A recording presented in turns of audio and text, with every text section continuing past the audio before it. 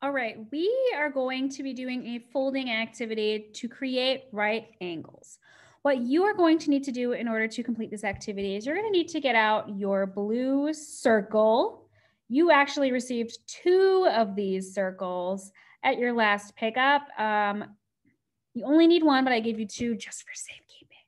And we're going to do a quick activity in which we fold these circles. So you're going to need to fold this circle two times. I'm going to fold it in half one way. So now I have a little taco, right? So I fold it in half one way. Now I'm gonna fold it in half one more time. So as you can see, I'm kind of making my corners again meet. So in the end, my taco turns into almost like a little fortune cookie type of shape. All right. Make sure all your lines are lined up nicely. Give it a real good press. All right. And take a look at what we have now. What do you notice about our folded circle? Take a minute and think. Do you notice any angles in our folded circle? Yeah, this corner right here creates an angle.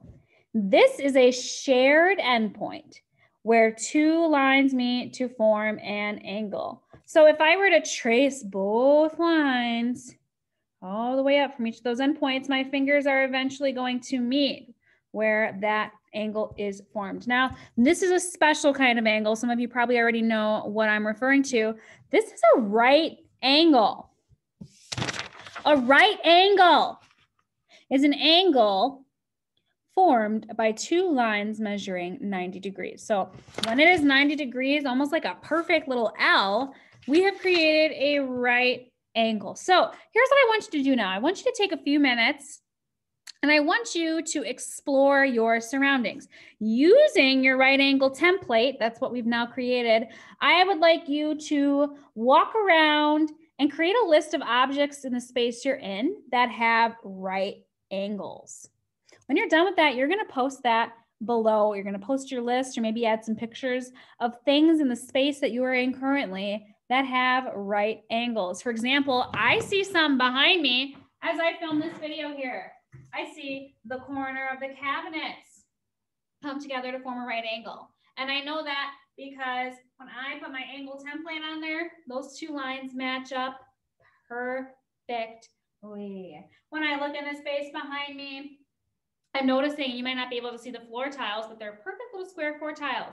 I see right angles in that area. I'm looking at this post-it note that I have right here on my desk. And when I put my right angle template on there, I see a right angle. What right angles will you find in your surroundings?